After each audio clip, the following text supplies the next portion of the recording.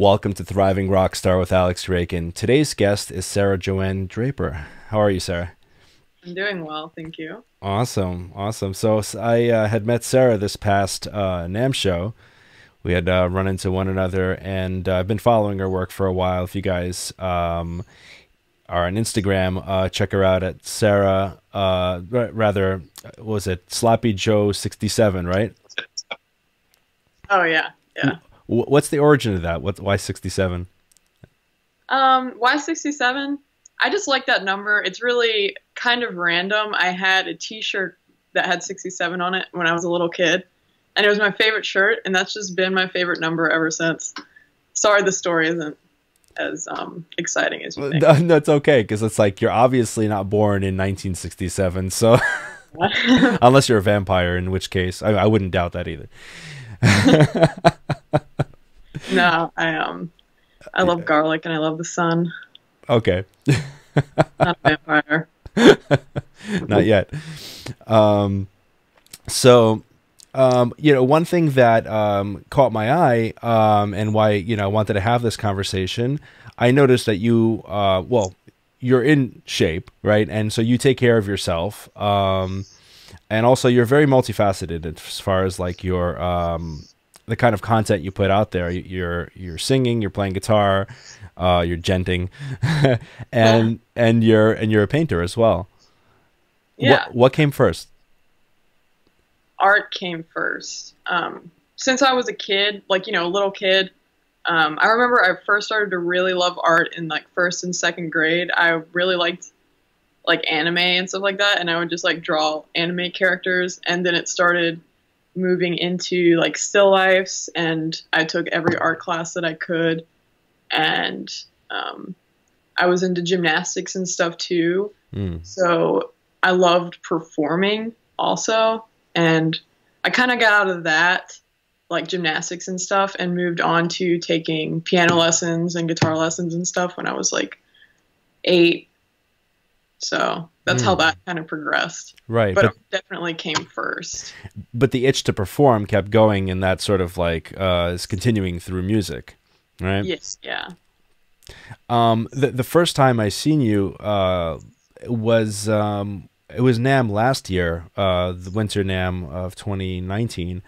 Um, and you were at the Tosin booth and you just kind of happened to sit down and just jam out a little bit. that moment was very intense. So I was there with me and a bunch of my friends were just like walking around and um, we just ended up stumbling upon the Abasi booth and I was like, I think it was the first day too, the yeah. first time that that year, and I was just standing watching, and then Tosin looks at me, looks at me, and he's like, "Hey Sarah, you want to riff?" And in my brain, I was going like, "No, no, no, no, don't."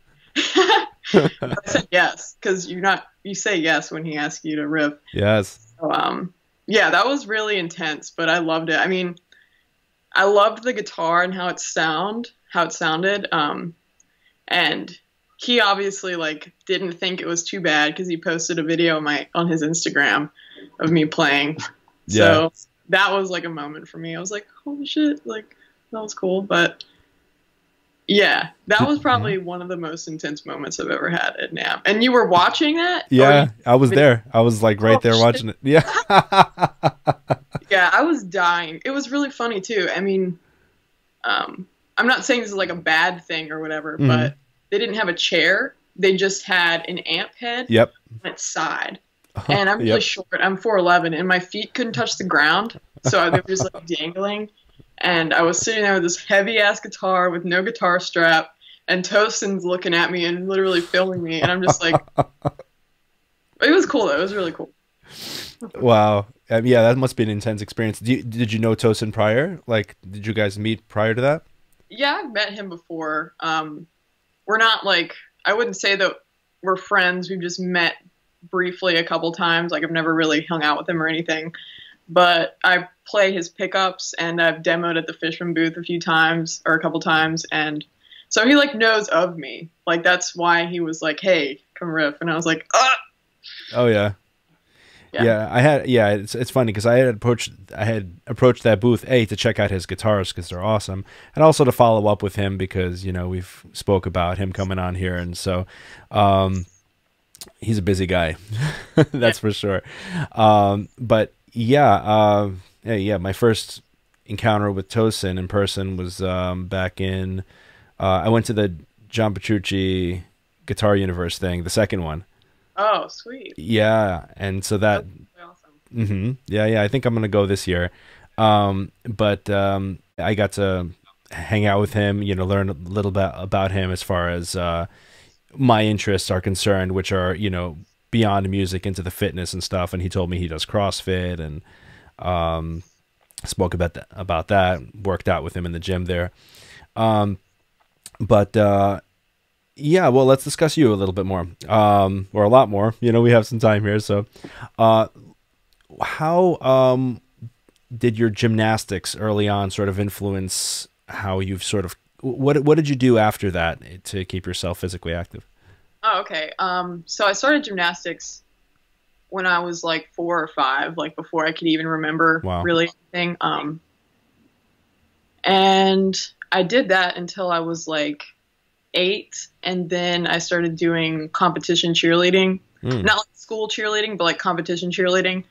And then um, that was where I found because you kind of perform in gymnastics, but you really perform in competition cheerleading because you're just like doing backflips and stuff in front of audiences. But um, I think that's when I really realized, like, hey, this is really awesome. Like, I love doing this. And you can't do cheer forever. You're kind of like if you do cheerleading in high school after that, it's just kind of like, okay, you're done. Like, that was cool, but it's not really like a lifetime kind mm. of. But anyway, so I stopped doing that when I was in eighth grade, and that's when I started playing guitar and stuff like that. Um, mm. And yeah, I just I that's why I stopped doing cheerleading, is because I just found that I love that way more. You know what I mean? Yeah. Okay, and then since then, uh, well, here's the thing: the cheerleading, I could see how that kind of stemmed out of. Um, oh, okay, okay, yeah, yeah, yeah. Um, mm-hmm. So, I learned a lot about like stretching, and it really, um, I love to run. Like I run, I do a lot of cardio. Not even, I mean, yeah, because it's like fitness, but also because it just feels good, and I like to do it.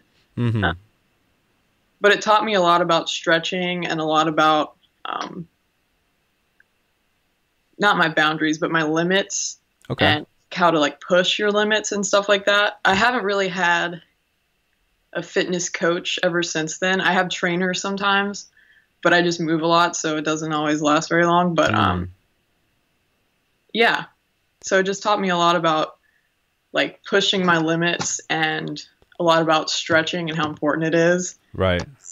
Yeah. Well that yeah what's you know and i see sort of a natural progression there from uh, gymnastics which really got you in touch with your body before you can even remember. Um, and that's that's something that a lot of musicians struggle with. They're just not in tune with their bodies. Um, and that actually manifests itself through the hands and through their musicianship uh, or lack thereof you know um, so that's something that i've sort of uh, noticed in um, I only got into fitness and things like that after, say, 20 years old, right? So that's when I really started to kind of uh, change my body. I was like a fat teen, and you know, so I I, I was a gamer, and I, I got into the whole fitness thing, and I realized how being in tune with my body completely changed my relationship with, um, well, with my body, and how that translated to being more dynamic at my instrument and just being a little bit more open and expressed in general. Um, and I've I've noticed that, and I've sort of helped uh, move my students in that direction because I've been teaching all the all the while, and and that's kind of like what ended up at this whole thing.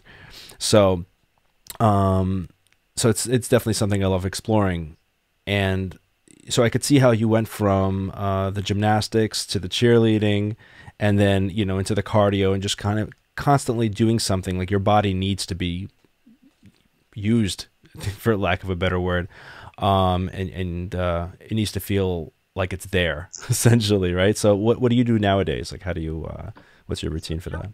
Now, like the extent of my exercise is just like I go to the gym. I haven't been very good lately, to be honest with you, like the past month or so.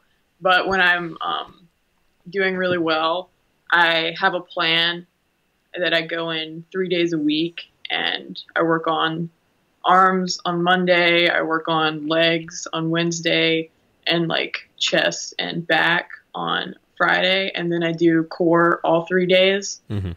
different core exercises all three days.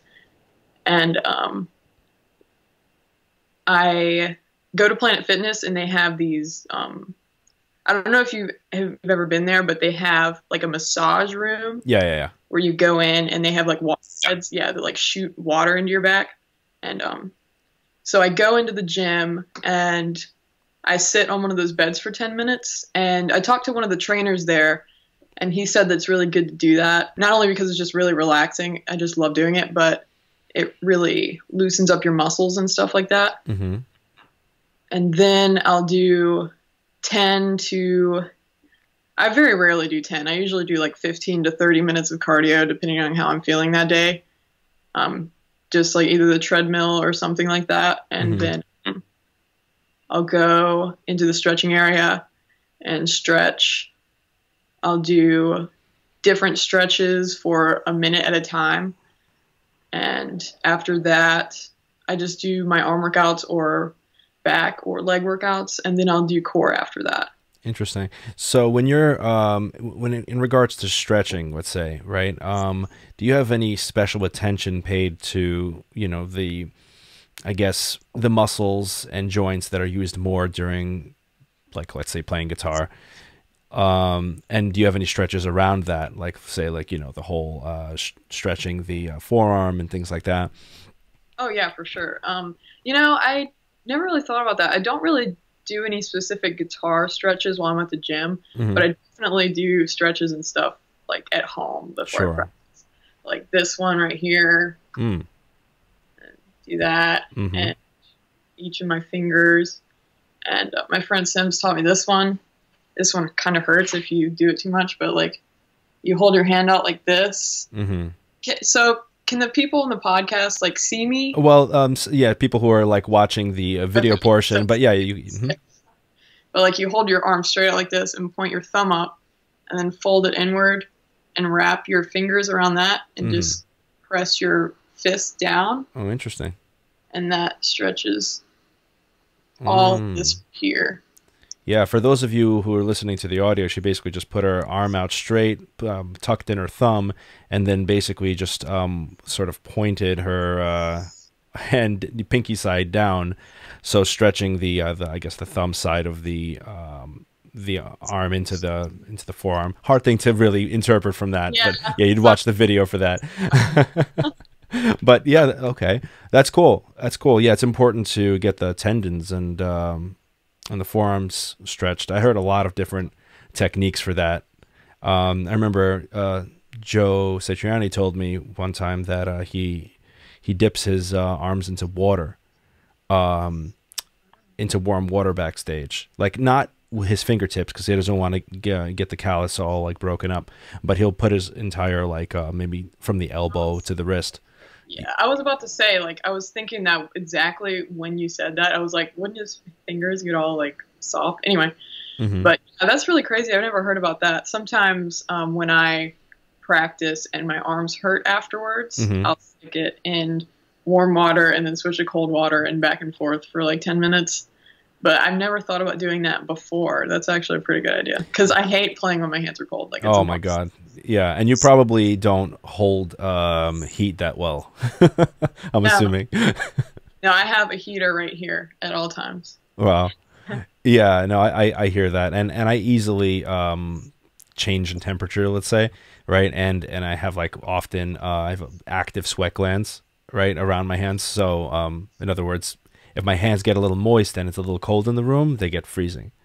Oh wow, that must be so annoying. It's extremely annoying, and and you know, frozen hands feel like when you're trying to play metal, right? I mean, you can, but it just hurts. yeah, yeah, you could like push through, but it's it, it feels so stiff, you know. Yeah, so when when I'm in the situation where my hands are just in, in that state, I, I try to keep them as dry as possible because you know Um, everyone's hands are different, but um, I definitely slow down if my hands are not in the right temperature. Uh, I'd rather my hands be swampy and hot uh, and sweaty and just like just leaking all over my neck than to be cold. You Yeah. know? Yeah, I agree with that. Mm-hmm. I'm cold right now. It sucks. Um, so but yeah, mhm. that. So as far as stretching and stuff is concerned, um, people think like, oh, you know, I don't think too much about that. It, you know, if we're trying to play the long game, and this is uh, my conversations are often about how do we extend our careers and and keep putting out content and and keep the ability to perform as a you know just being active as a musician for as long as possible right and and what can mitigate an injury and what what are these little things that we can sort of pick up along the way. And so um that's why I love you know having these conversations. That's what I nerd out about. So um you what's your primary um like like you you have a few things that you're doing. What would you say that your your general goals are as far as like where you're trying to take things? Um, so right now, my main focus is um, like today. All I spent my time on was getting my song ready to record the pre-pros for. Um, right now, I'm working on mainly getting my next EP out. I don't know if it's going to be an EP or an album yet because I have a lot of songs ready. It's just um, having the money to record everything, and but you know, so yeah, that's my main focus right now is saving up to record and get everything finished and get a bunch of videos made for my next EP and to tour on that. And on the side, I'm doing like YouTube videos and doing a lot of art and keeping in shape. Like that's a really good one too. yeah But yeah, definitely my main focus is my band Anchor Thought right now. Mm-hmm. And um, uh, so you, you haven't toured in a while, right? Uh, well, you you you. Yeah. Mm-hmm. Um, but you know, I can see how that all that you're doing is very useful, and especially in the age of the internet today, that like you really have to be tending to your audience. You can't be doing anything in silence anymore. You have to constantly keep up um, a conversation with uh, with your fans and building new f- relationships with them. You know, we're responsible for that nowadays. There's no like label sort of taking care of that. Um, I- think it's as much a blessing as it is a curse, right? It's it's it's a curse in that we have to be the ones to do all this weird things like you know creating videos and all these peripheral um, things instead of being there writing music and you know doing what we're put here to do. We have to take on all these other roles. Um, but on the flip side, we get to build that relationship, um, and from a business perspective, we'll have that audience to um, present our product to, right? And uh, and they're very bought into what we do, and all we have to do is just keep tending to them, build that audience, and then um, whatever we create, we have a platform to land on, right? So yeah, uh, go ahead. I was just going to agree with you. Yeah, definitely. Mm-hmm. Yeah, and, and so that that's the, that's a very big thing that you're up to there. Even just like people might think, oh, you know, uh, you haven't put out anything in some time, or you know, any concrete album or something like that. But people um, underestimate, you know, that building a following part because if if you did the opposite and you just kind of like really just did nothing but write, you would have an album and no no one to hear it, essentially. So yeah, it, it's good what you're doing. Um, now, how did you? Uh, where did you start from as far as like your guitar playing, and how did you get to where you are today, uh, stylistically? Like, how, how did you make those choices? So I started playing music when I was eight. I learned piano, Mhm. and then I kind of focused on like cheerleading and gymnastics until I was 13. And then I started playing guitar, and that's when I started doing music like every day or like as often as I, as I could. I was just playing like regular, I really liked the 90s era of music like grunge and stuff like that. So I played more simple stuff for a really long time. Then when I was 14, I learned how to play bass, and when I was 15, I started taking drum lessons. I'm not really a drummer. It wasn't really my thing, Mm. but I can do some things. But I just stuck to like regular kind of rock, hard rock stuff until I was like 19. And then I got really into the kind of stuff that I play now. I was listening to like Plini and Scale the Summit and Animals as Leaders. And those were my main ones. And then it's kind of weird how it worked out because I never really listened to metal growing up that much. hmm And I found that kind of stuff through listening to like Animals as Leaders and Plini and Scale the Summit. And I was like, oh, this stuff is really cool. So I kind of skipped listening to like Pantera or Megadeth, Black Sabbath, or anything. Right, right. Prior to that, it was just like what? What was it prior to that? My favorite band is Smashing Pumpkins, and Ah, um, I really like Sonic Youth. I mean, I still like them. I just don't really listen to them much anymore. hmm and um, like Pearl Jam and stuff like that. And I really liked Jimi Hendrix. Um, I'm trying to think of other things, but like you get what I'm saying. I get um, it. Yeah, that- yeah, yeah. That kind of stuff. And I still like it a lot, but I just don't really listen to it because I've already listened to it so much. I'm just like, okay, I need more notes. But- but yeah, so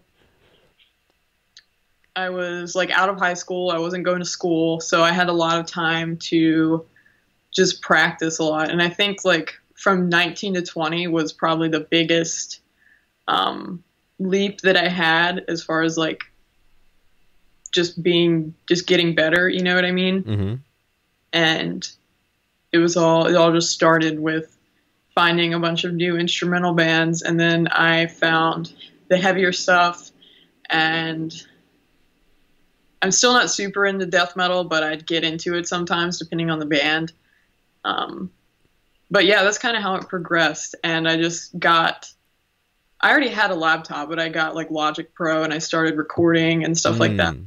and I wasn't even going to do anything with it, but it just I enjoyed it so much I kept doing it, and I started to find people that were willing to work with me, and I recorded the first Anchor Thought EP last no it was the year before last and released it last year, and now I'm working on the second one, which is really awesome, and I had no idea that it could like bring me like a new community of people to just be around you know what I mean? When I started doing it, but that's what's happened. And I started going to NAMM, and you know, it's just like meeting a whole new world of people outside of where I grew up. It's really cool. You know, I think we should kind of um, spend some time emphasizing the meeting people part. There's a lot of bedroom guitar players and musicians in general who are um, obsessed with getting better, and but they don't really communicate. They don't they don't meet other people. You know, it's really a who you know business, and Oh my God, yeah. uh, and so you your tick you know you definitely took a great leap and going to NAMM. You know, um, where do you where are you based out of normally? I live in Baltimore. Well, I live- live like I live in Towson. It's like a little, you know, suburb of Baltimore. But yeah. In other in other words, nowhere near LA. Oh right, like I'm a New Yorker, and so um, having that, you know, realizing the importance that you know you'd be you'd spend the money to fly out and the time to fly out to to NAMM and and and network over there. You you obviously seen the uh, you know the benefit of that, right? So how do you how do you approach that? And if you have, have any kind of thing, you know, or, or would you consider yourself more introverted, extroverted? um. So what do you mean? How do I approach it? Like, how did I approach it in the beginning, or how do I just approach it? Well, normal? h- how did you arrive at the the the realizations? Like, you know what, I, I should probably meet people in this field. Did that was that just self self evident?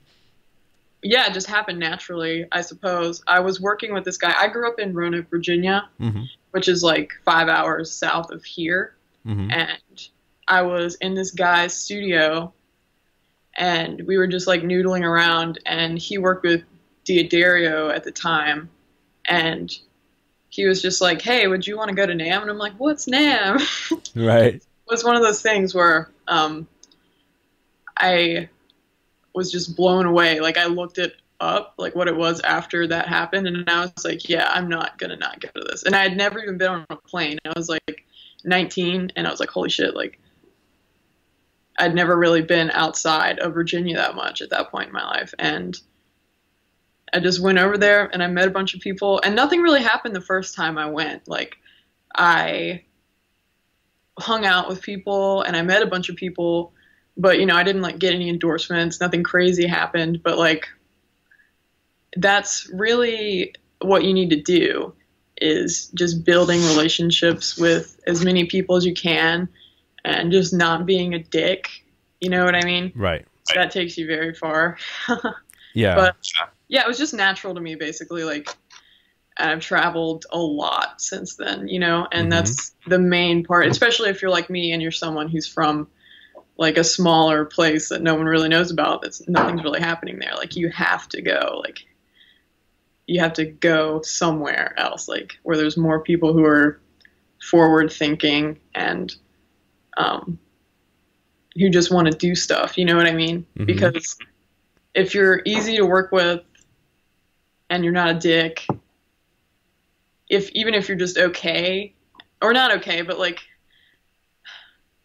you being really what I'm saying is like being really good and sitting in your bedroom, like you were saying earlier, isn't what's going to get you like off the ground and get you on the map. You know what I mean? Right. Right.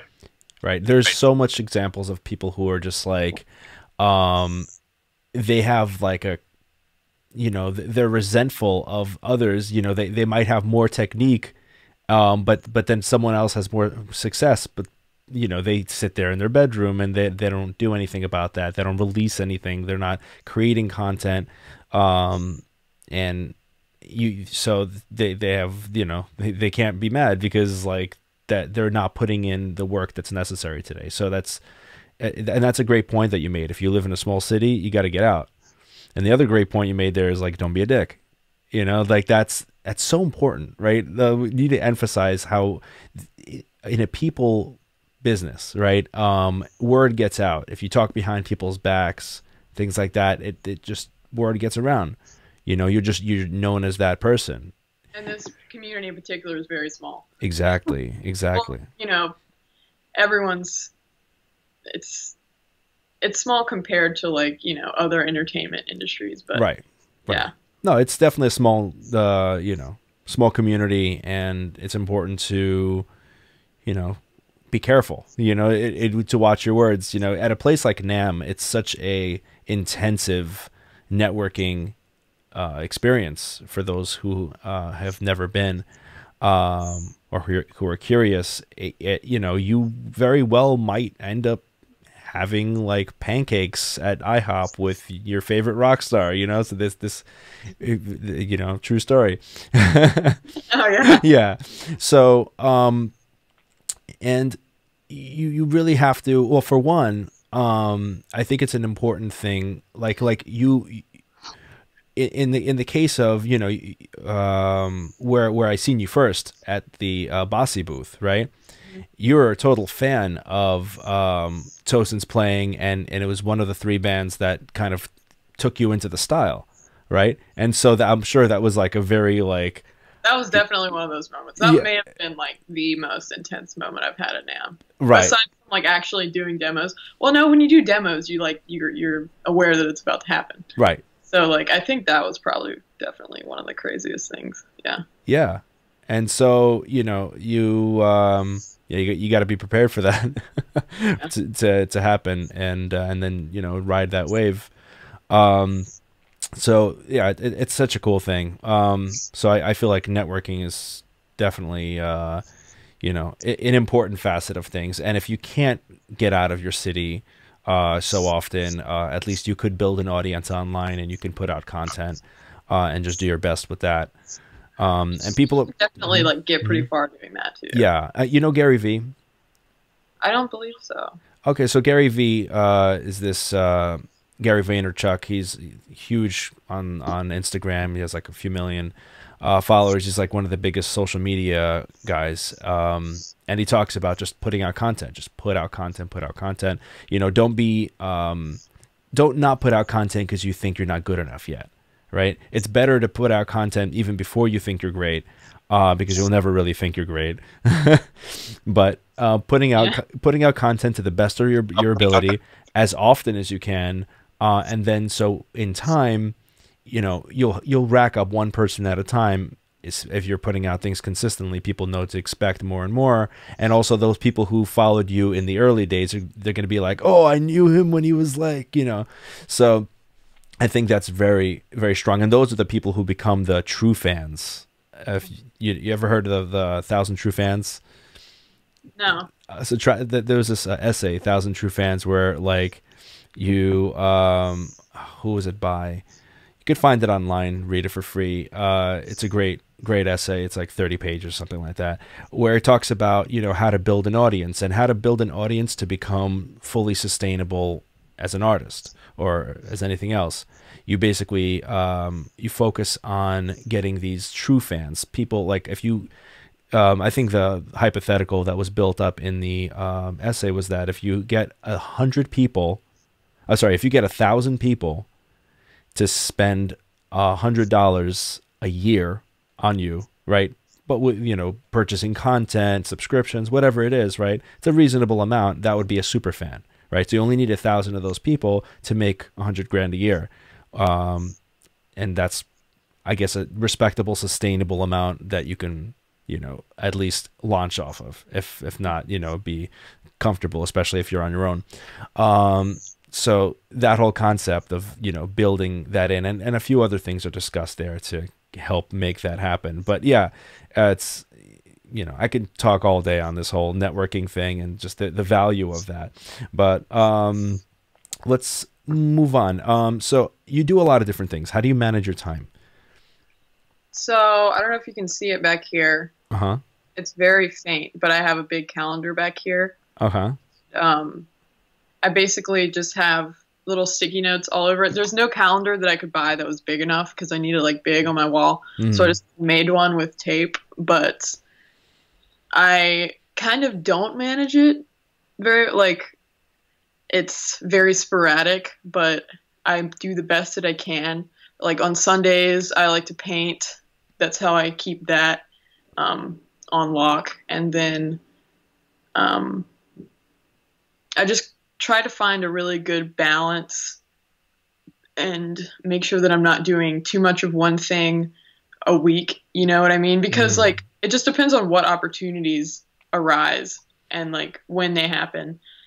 Um, like right now, I've been working on my album a lot more, and I really haven't been painting and drawing as much as I want to. Hmm. So yesterday, I just like bought a bunch of canvas board, and I'm gonna start working on that because I just love doing it. It's really like decompressing for me.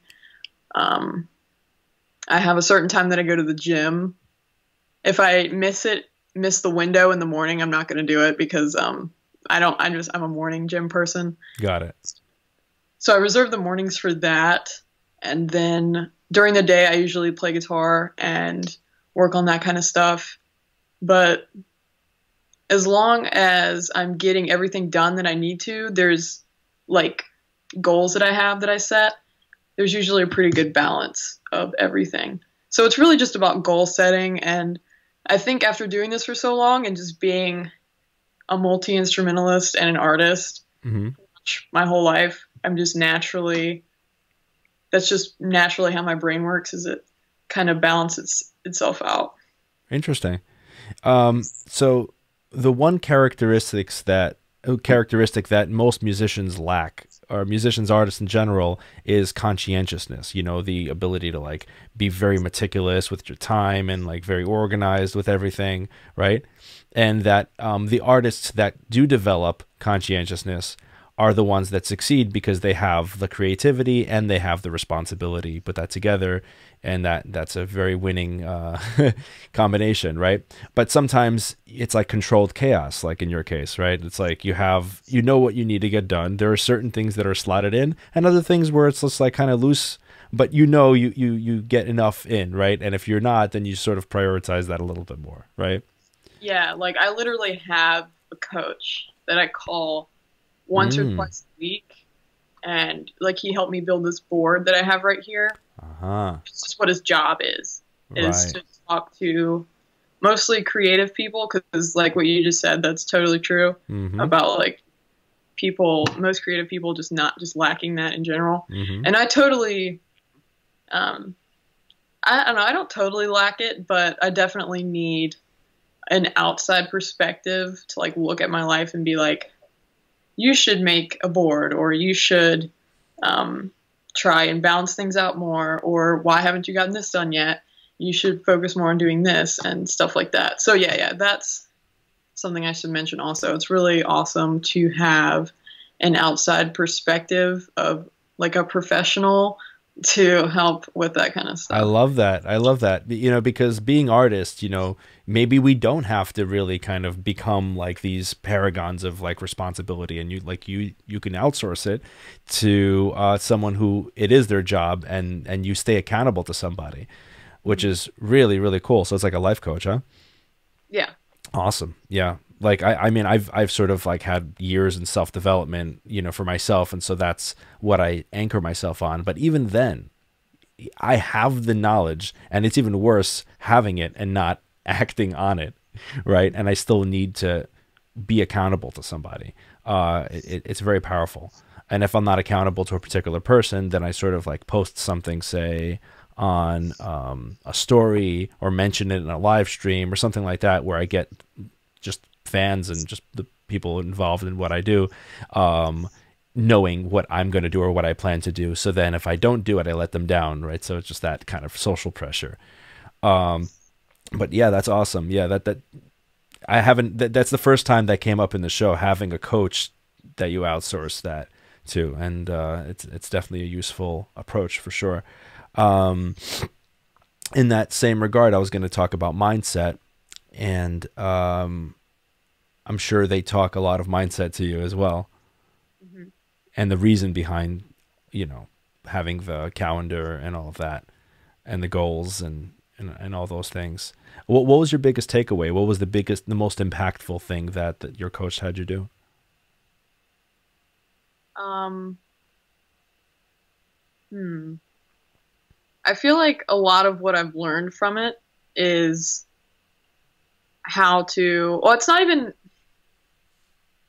I think the biggest thing that is helping me so far, aside from like having someone who's holding you accountable, is um, it's kind of forcing me to not take things as they come to me and to sometimes like basically just prioritize my time. Mm, and not that i wasn't doing that before but for instance like if someone's like hey let's go get a drink or something like that um, when you don't have your goals in line and you're not prioritizing your time you would do that and you wouldn't even think anything of it Right. and not to say that doing that is bad but it's narrowing my focus is mm, probably the biggest thing that um, has helped me because that's my biggest problem i think is at least like as an artist mhm. is i just put too much stuff on my plate Oh yeah. Yeah Yeah, I'm. Uh, listen, that y- y- I have the same issue. You know, I have ideas for this and that, and you know, and and it just extends even beyond music. You know, I have app ideas, this and that, and I realize that nothing will get done if I'm doing everything. Right.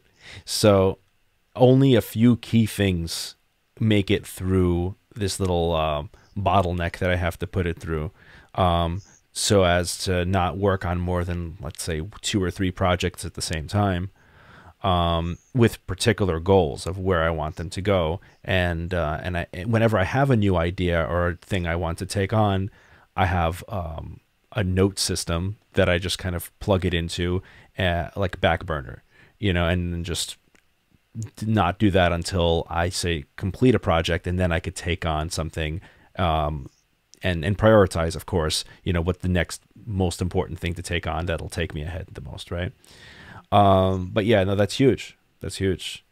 It's it's important to you know and prioritize you know what you're doing.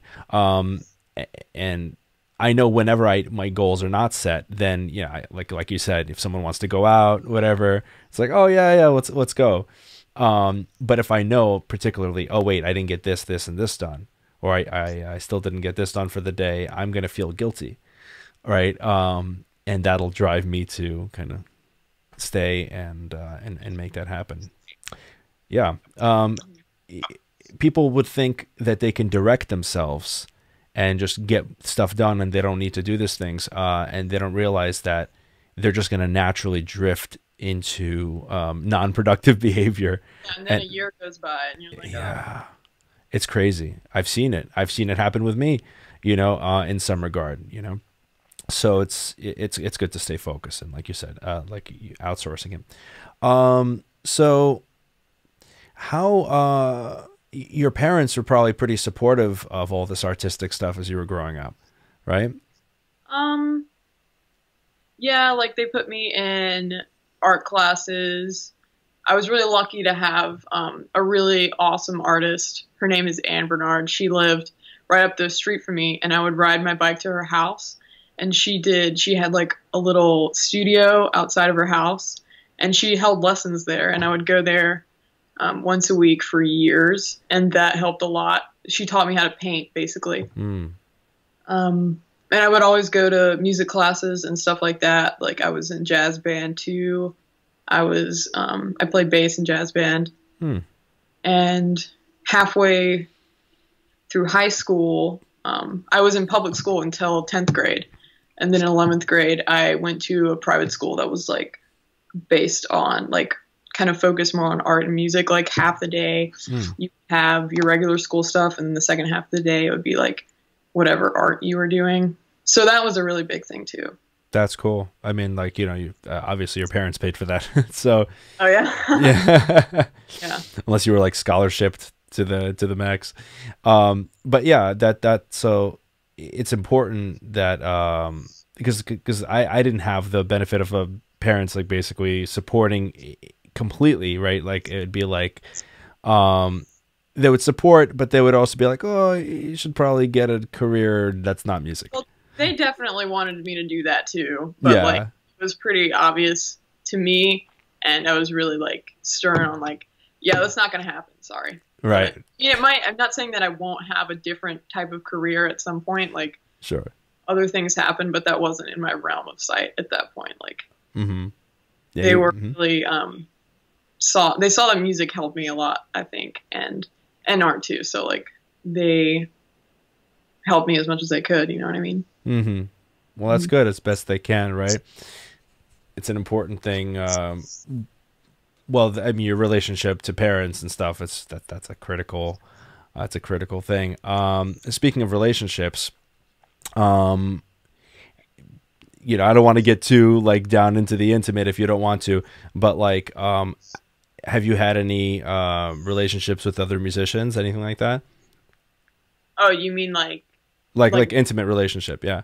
Oh yeah, yeah, yeah. Um, my boyfriend, he's in a band called Grey Lotus. Okay. Um, they they toured last year and they have an EP out too, and they're really awesome. But we don't like mix. You know, I'm not like in a band with him. Um, right, right. I personally have only had bad experiences with that. Um, not with him, but like with in the past uh-huh. mixing that kind of stuff. Um, some people do it and it's totally great. Um, but yeah, I don't like date within a band, but I've definitely pretty much only dated musicians. Not because I like have a thing for musicians, but those are just the people that I hang out with and makes sense me and my boyfriend were friends for a while before we like started dating and stuff like that. So it's just the people that I'm around. But um But that's yeah. interesting. Like okay, so you you're around them and you can relate to them, right? Um but when it comes to creating together, what happens that um that's a no-no is it the the kind of clashing of heads or like how uh, how does that not work out now that I'm older, it probably wouldn't be an issue if I if that was something I wanted to do. Mm-hmm. I mean, when you're a teenager, drama is you know like oh yeah whatever. But um, it's just never i mean like we've jammed and like we teach each other things. He's better than me. He teaches me more than i teach him but um it's it's never really and we also like play completely different kind of stuff like Hmm. we just wouldn't mesh if we were to do a project together but we like have jammed and stuff like that and that's fun. I'm not against doing that but as far as like being in a business relationship with someone that you're in a relationship with Hmm. it's like It's tricky. That, that it can be.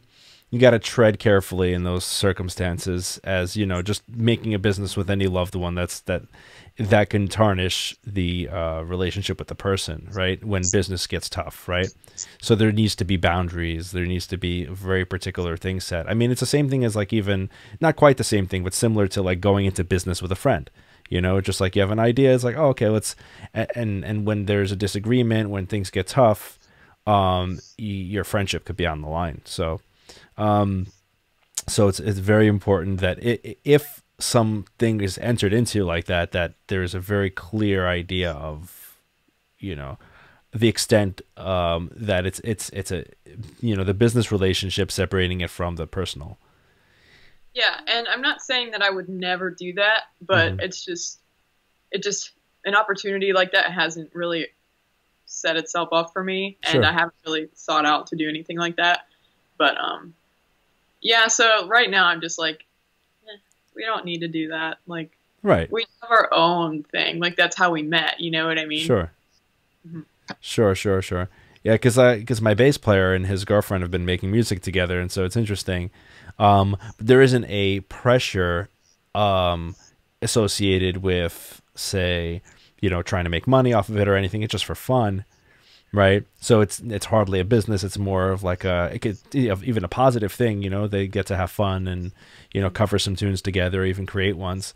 Um, but yeah, I can I can see um, especially if there's two very creative people who have uh, their own creative direction to instill um, and they can if they're also partners or or they have a close friendship or something like that there could be butting of heads and and that, that could uh, that could be tricky right? So um, yeah it's it's definitely something that you know if if it's something that you are up to um, for the listener um, it's you you, you want to be careful with that.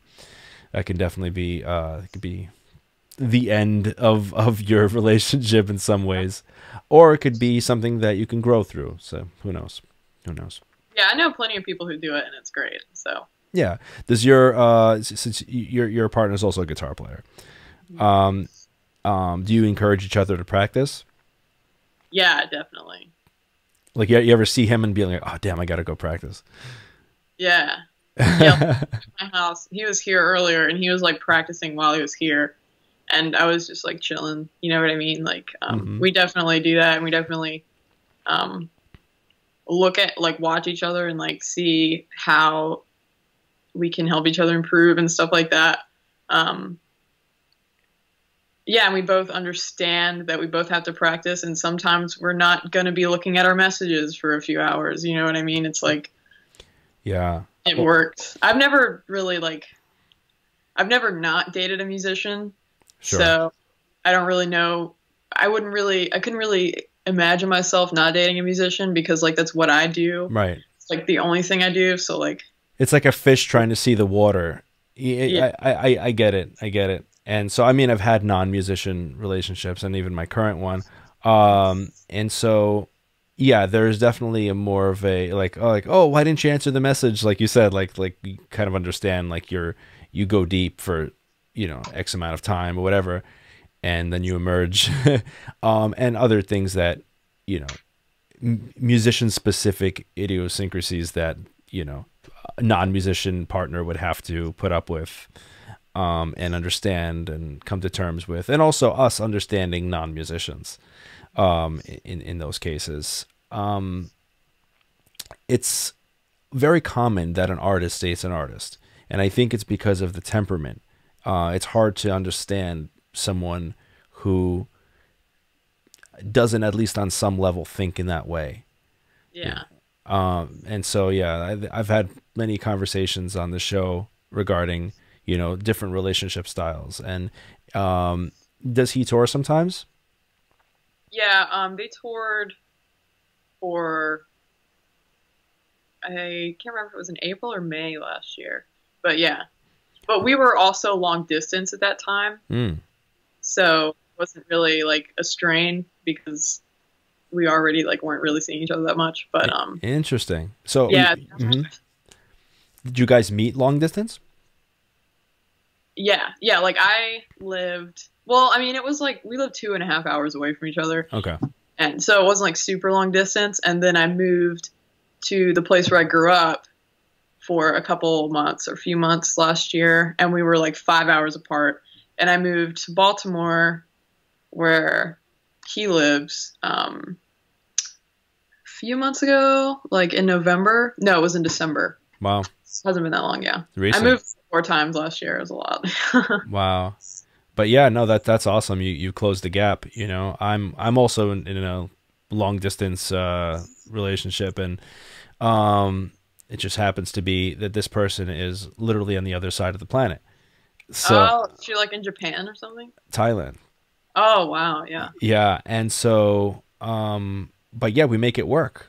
We make it work. Yeah, I I even started a blog which is currently paused, but uh, called Eight Thousand Mile Love.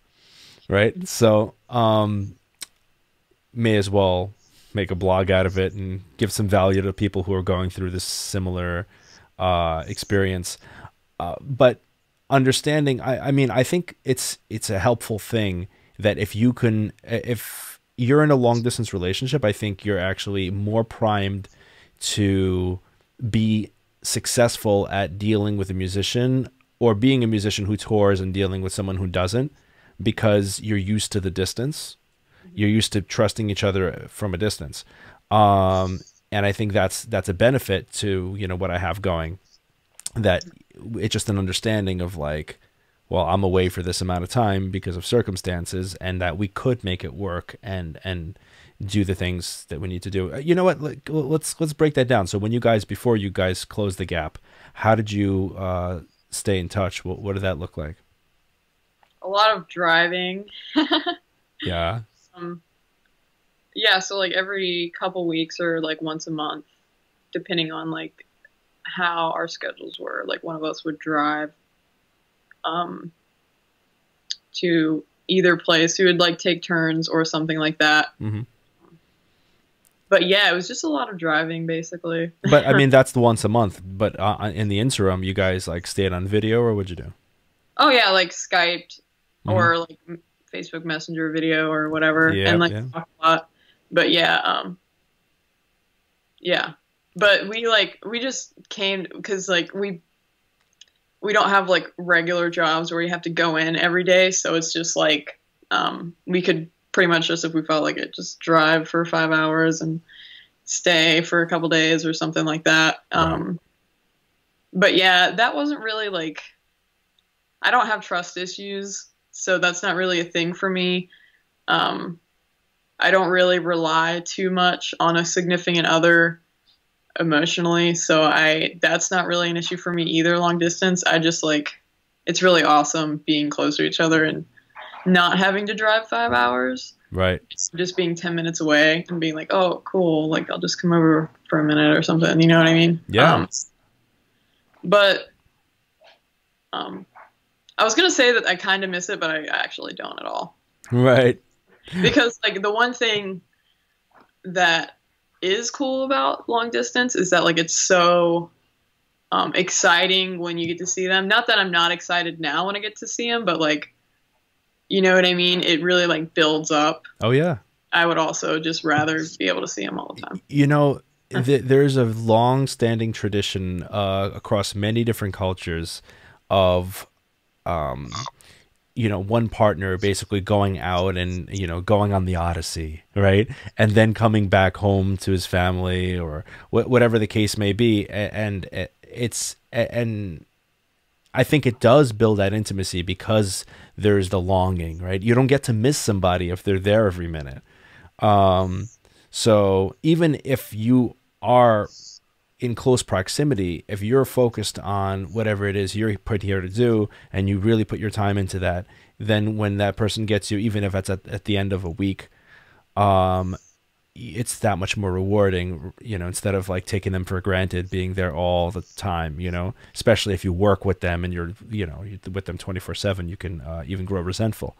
Um, so it's important to get to miss somebody, it seems, uh, on some level. And so one of the conversations, like I said, I have on here is like people going on tour and maintaining the relationships back home with, uh, with their loved ones. And what I find oftentimes is that the more independent their partner at home is, um, the more happier, you know, the both uh, of yeah. the, them are.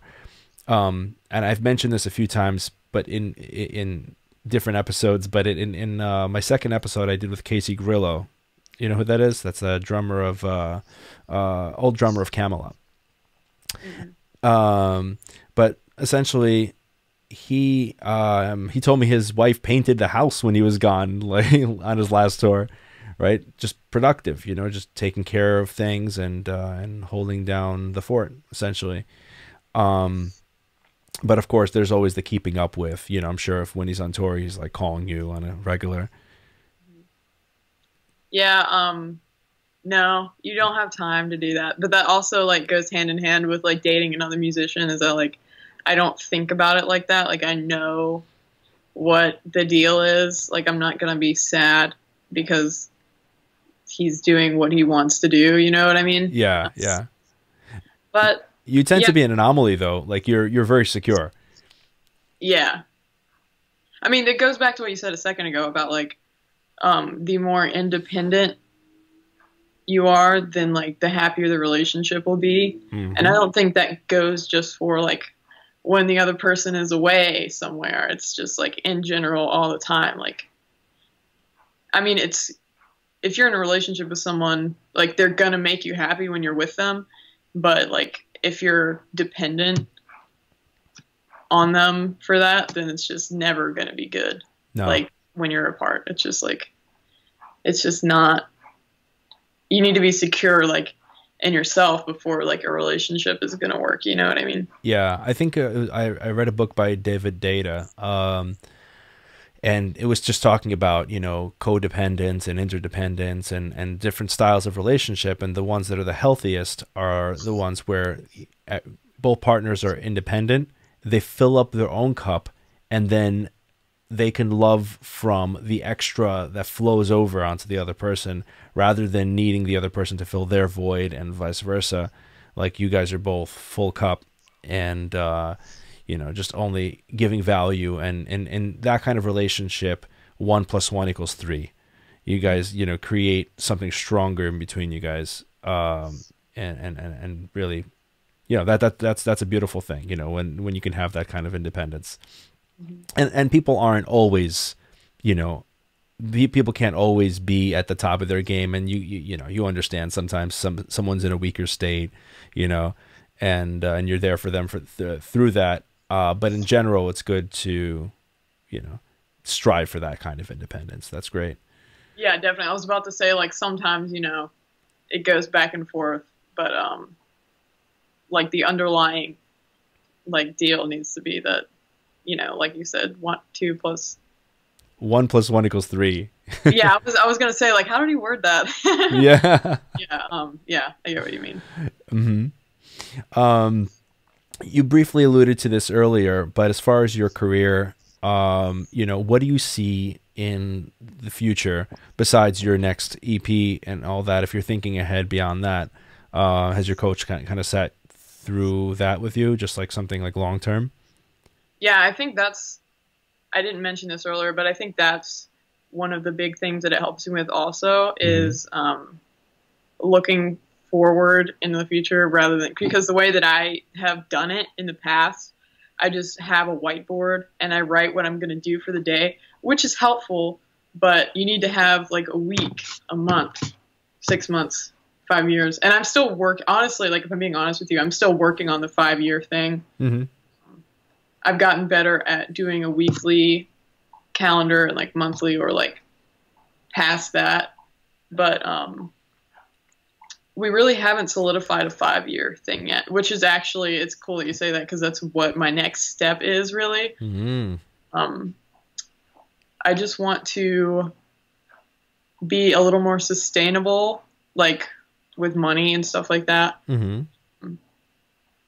I'll probably, I really have no idea like where I'll be because like five years ago, I had no idea that I would be where I am now. But also, um, I definitely am going to keep doing music, and I want to be touring, and I want to maybe even fill in for other people, whether it be like bass or guitar or vocals, um, for tours too. Um, I think that would be a lot of fun, and I'd really want to. I don't know. I think being sustainable is like the main thing. So Like, I, you're pretty clear on what you want your music career to progress into. Um, how about your art? What, what, do you think that would uh, what would be the most ideal circumstance over the f- next few years with that? So with my art, I've definitely made the decision to have art as my second deal. Um, I love music and the community of music way more than I like the art community. Mm. And what I would like to have, I've been moving around so much that it's just like it's been impossible the past couple of years. But um, I really want to have like a space, like a studio where I can hold classes Mm. and um, just hold events even hmm um, yeah like i think teaching kids would be really awesome hmm and having a place for other adults to come and paint it wouldn't be that wouldn't be so much of teaching as it would just be like having a space for people to like come together but i think that would be really awesome So- just having a space hmm to make all that happen Nice. Yeah. So that that's definitely a direction. Now, one one thing that really kind of changed the trajectory of things for me personally, because you you have art and you have music, I have music and I have fitness, um, and I came to a point. I think it was Tony Robbins I was listening to, kind of like encouraged me to combine the different things to create something unique. Here we are, thriving rock star, right? Um, and this kind of stuff, and and there's other derivatives of that connection um, between two separate paths um and and there is you know i find i found there's a community of people who fuse those two things. So i'm sure um you'll find ways to even if you want to fuse music and art in a sense like make the artwork for your music or create animation whatever it is right? Um in a way to kind of synergize both passions there right? And just kind of create something that's whole you you know? Awesome. So um, there's plenty more we can discuss here but yeah i'm gonna let you go on your merry way and um, it's been great having you on um, where can people find you online I am on Facebook and Instagram, and I have just made a Twitter actually. mm. I have, I started using it like last week or something, so I have like 20 followers. Hit me up on there. Um, but Instagram and Twitter, I am Sloppy Joe 67, S L O P P Y J O 67, and Facebook is just Sarah Joanne. Um, and my Anchor Thought page, Anchor Thought is the name of my band. Mhm. We're on Instagram and Facebook as well. So it's spelled um, like Anchor and then Thought. So yeah. Awesome, awesome. So, see you soon, Joanne. Uh, Sarah, rather. I'm using your middle name. see you soon, and uh, you know, hope to catch up with you. Yeah, thank you for having me.